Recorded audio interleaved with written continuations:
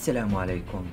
تداولت صفحات التواصل الاجتماعي خبرا عاجلا بين زوجة عادل الميلودي إيمان وعائلته الأولى في المحكمة التي تطلب اللادئين من عادل الميلودي لثبوت النسب مع أولاده الغير الشرعيين بينما زوجته إيمان ترفض هذا الاختبار لكونه يهين أسرتها المحافظة وسمعته الفنية. اكتبوا في التعليقات ولا تنسوا الإعجاب بالفيديو والاشتراك بالقناة.